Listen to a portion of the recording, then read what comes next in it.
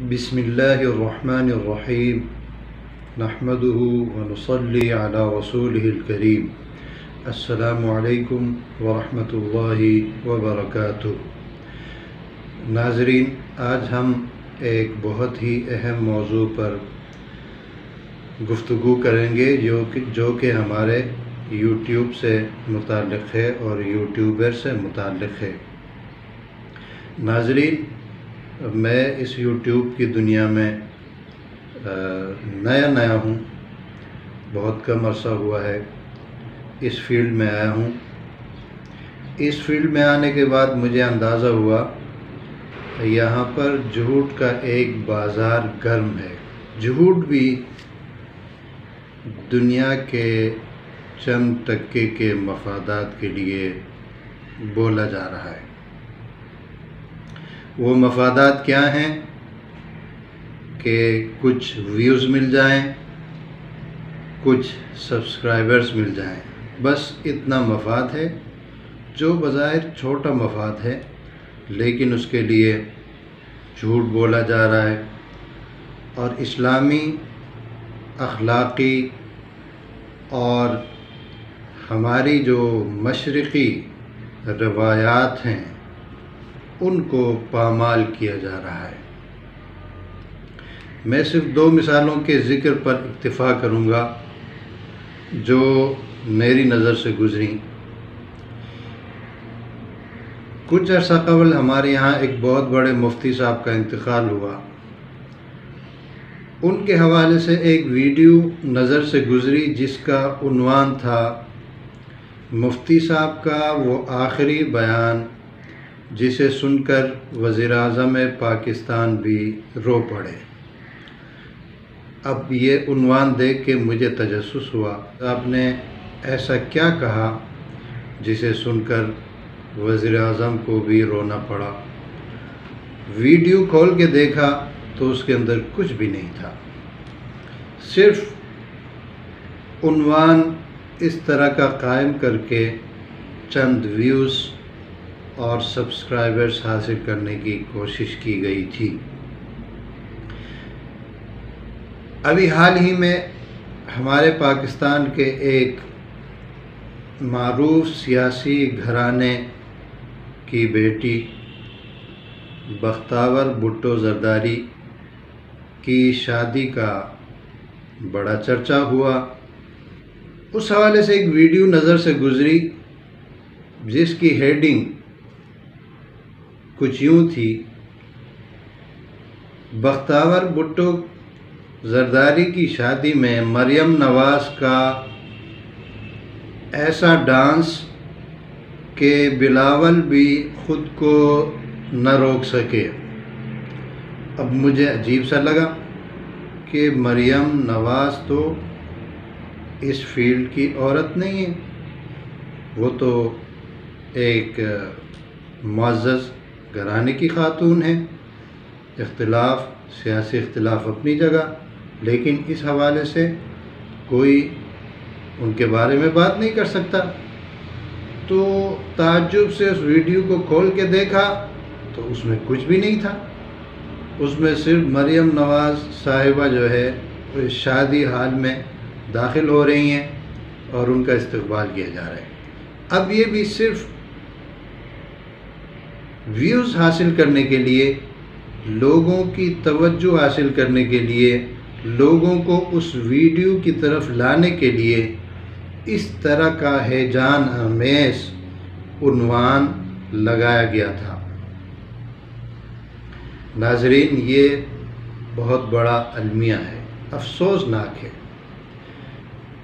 इस तरह की हरकतों की न हमारा दीन हमें इजाज़त देता है न सहाफ़ती अकदार, सहाफ़ती असूल इसकी इजाज़त देते हैं। मैं पहले कुरान और हदीस के चंद हवाले पेश करूँगा, उसके बाद सहाफ़ती बुनियाद पे इस पर मुख्तसर गुफ्तु करूँगा। कुरान पाक की सूर अहज़ाब की आयत है, या अयुहल्लदीन आमनुत्तकुल्लाह वक़ूलु कौलन सदीदा। ए ईमान वालो, अल्लाह से डरो और सच्ची और दुरुस्त बात कहा करो। इस आयत में हमें सच बोलने, दुरुस्त बात करने का हुक्म दिया गया है। सूर नहल की आयत में है इन नमा यफ्तरिल कदिबल्लजीना ला युमिनून बिआयातिल्लाहि व उलाइका हुमुल काजिबून। बेशक झूठ और इफ्तराबाजी उन लोगों का काम है, उन लोगों का शेवा है, जो अल्लाह ताला की आयत पर ईमान नहीं रखते। अल्लाह ताला की आयत के मुनकर हैं और यही लोग झूठे हैं। आप अंदाज़ा लगाएँ कि इस आयत में झूठ बोलना उन लोगों का शेवा करार दिया गया है, जो अल्लाह की आयत के और अल्लाह ताला के मुनकर हैं। सूरह हज की आयत में इरशाद है फ़श्तनबुर्रिस मिनल अवसानी वजतनबू कौलज़ूर ए ईमान वालों परस्ती की गंदगी से बचो और झूठी बात से बचो। आप अंदाज़ा लगाएँ कि यहाँ पर बुत परस्ती के फ़ौर बाद झूठी बात और झूठ बोलने से मना किया गया है कि इतना बड़ा जुर्म है झूठ बोलना कि शिरक के बाद उससे हमें रोका गया है।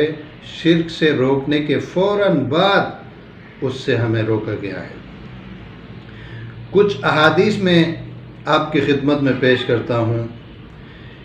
एक मशहूर हदीस है बुखारी शरीफ की। हुजूर सल्लल्लाहु अलैहि वसल्लम ने इरशाद फरमाया, आयतुल मुनाफिक सलासुन इज़ा हद्दस कज़बा। व इज़ा वअद अखलफा व इज़ा तुमिन खाना के मुनाफिक की तीन निशानियाँ हैं पहली निशानी जब बात करे तो झूठ बोले दूसरी निशानी जब वो वादा करे तो वादे की खिलाफ वर्जी करे और तीसरी निशानी जब उसके पास अमानत रखी जाए तो वो उसमें ख़यानत करे आप अंदाज़ा लगाएँ कि मुनाफिक की तीन बुनियादी निशानियों में से एक निशानी झूठ बोलना भी है।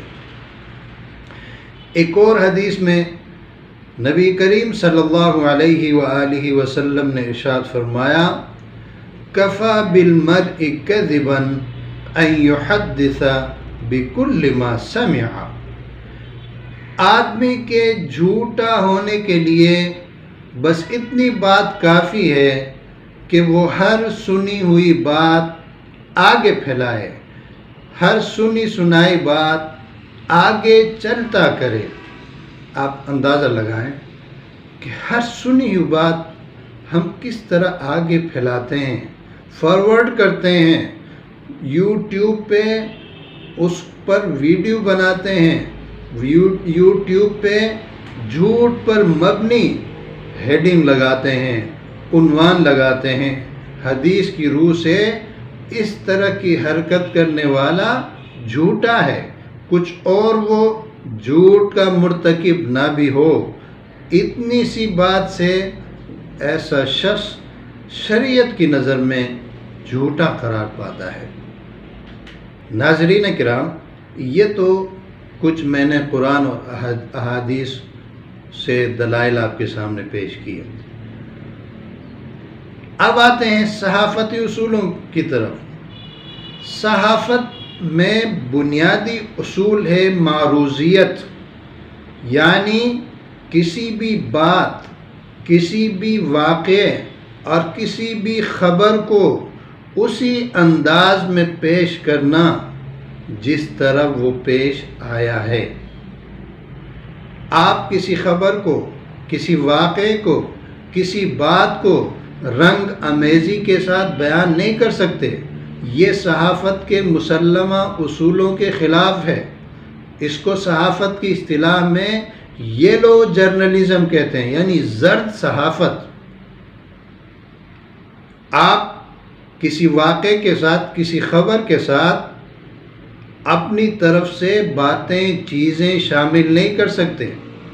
आप उसको चटपटा बनाने के लिए मिर्च मसाला नहीं लगा सकते, वरना ये सहाफ़ती उसूल की खिलाफ वर्जी होगी। ये जर्द सहाफ़त कहलाएगी। अच्छा उनवान कायम करना, अच्छी सुर्खी निकालना, ये अच्छे और माहिर सहाफ़ी की निशानी है। ये उसकी महारत शुमार होती है कि वो अच्छी सुर्खी निकाले ख़बर की। लेकिन उसमें भी उसके ऊपर लाजिम है। सहाफ़त उसे पाबंद बनाती है कि वो सुर्खी ऐसी निकाले जो ख़बर में मौजूद हो। जो बात ख़बर में मौजूद नहीं है, वो अगर ऐसी सुर्खी निकालेगा तो संजीदा सहाफ़त में उसे मायूब करार दिया जाता है, बल्कि मैारी इदारों में ऐसे सहाफ़ियों को मुलाजमत से निकाल दिया जाता है, क्योंकि ये सहाफ़त के बुनियादी असूल की ख़िलाफ़ वर्जी हुई है। अल्हम्दुलिल्लाह मैं ख़ुद भी सात आठ साल सहाफ़ती फ़ील्ड में काम कर चुका हूँ। प्रैक्टिकली मैंने सहाफ़त में सात आठ साल काम किया है। हमें इन चीज़ों का अंदाज़ा है। और मैं किसी भी वीडियो का दिलचस्प से दिलचस्प उनवान बना सकता हूँ, अपनी तरफ़ से मन गढ़त लेकिन मैं ये सोचता हूँ कि इस बात की इजाज़त न मुझे मेरा दीन देता है, न मुझे इसकी इजाज़त सहाफ़ती उसूल देते हैं। ज़रूरत इस अमर की है कि हम चंद व्यूज़ के लिए चंद सब्सक्राइबर्स के लिए ना अपने दीन को ख़राब करें ना अपने दीन के असूलों को पामाल करें ना सहाफ़ती असूलों को पामाल करें। मुमकिन है इस तरह की हरकतों से आपको चंद व्यूज़ तो मिल जाएँ, चंद सब्सक्राइबर तो मिल जाएँ, लेकिन हमारा दीन तबाह हो जाएगा हमारा ईमान तबाह हो जाएगा हमारी आखिरत तबाह हो जाएगी। और दुनिया भी तबाह हो जाएगी इस तौर पर कि लोगों की नज़र से हमारा एतबार उठेगा। लोगों के एतमाद को ठेस पहुंचेगा। एक दो दफ़ा तो आप लोगों को धोखा देकर व्यूज़ बटोर सकते हैं लाइक्स बटोर सकते हैं सब्सक्राइबर आप बटोर सकते हैं, लेकिन आपकी दो चार वीडियोस देखने के बाद लोग आपसे मुतनफ़िर हो जाएँगे। आइंदा, आपकी संजीदा वीडियो को भी, जिसमें आपने हकायक बयान किए हों, उसको भी नहीं देखेंगे कि ये आदमी काबिल एतमाद नहीं है। हमें सच बोलने का हुक्म है, सच लिखने का हुक्म है, सच के इजहार का हुक्म है। शायर अवाम हबीब जालिब के शेर पर मैं आज की अपनी मारूज़ात को ख़त्म करूँगा। देना पड़े कुछ ही हर जाना। देना पड़े कुछ ही हर जाना, सच ही लिखते जाना। मत घबराना, मत डर जाना, सच ही लिखते जाना। ज़िंदगी बाकी, मुलाकात बाकी। अस्सलामुअलैकुम वरहमतुल्लाहि वबरकातुहू।